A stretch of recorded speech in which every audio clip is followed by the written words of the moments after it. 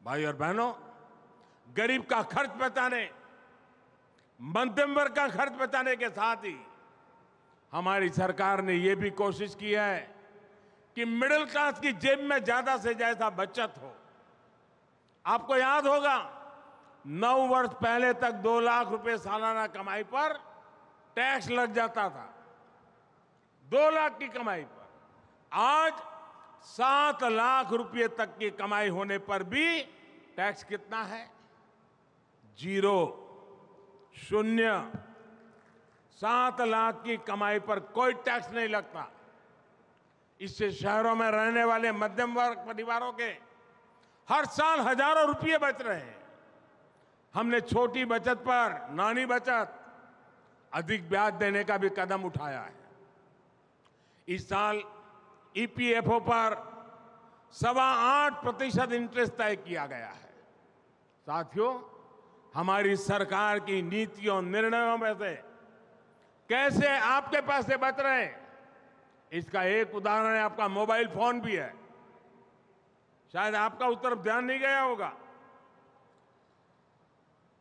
आज अमीर हो या गरीब, अधिकांश लोगों के पास फ़ोन ज़रूर होता है।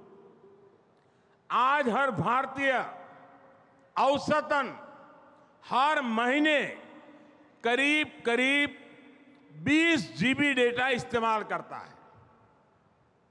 आप जानते हैं 2014 में एक जीबी डेटा की कीमत कितनी थी?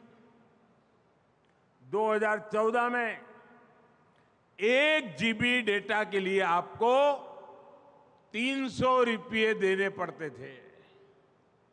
अगर वही पुरानी सरकार आज होती तो आपको मोबाइल का ही बिल हर महीने कम से कम छह हज़ार रुपये देना पड़ता। जबकि आज 20 जीबी डेटा के लिए 300-400 रुपये का ही बिल आता है। यानी आज लोगों के हर महीने मोबाइल बिल में करीब करीब पाँच हज़ार रुपये हर महीना बच रहे हैं। साथियों, जिन परिवारों में सीनियर सिटीजन हो, वृद्ध माता पिता हो, दादा, दादी हो, और कोई न कोई बीमारी हो तो परिवार में रेगुलर दवाएँ लेनी पड़ती हैं। उन्हें भी हमारी सरकार योजनाओं से बहुत बचत करवा रही है।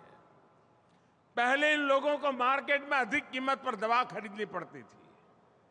उन्हें चिंता से उबारने के लिए हमने जन औषधि केंद्र पर सस्ती दवाई देने का शुरू किया। इन स्टोर की वजह से गरीब और मध्यम वर्ग के करीब बीस हज़ार करोड़ रुपए की बचत हुई है।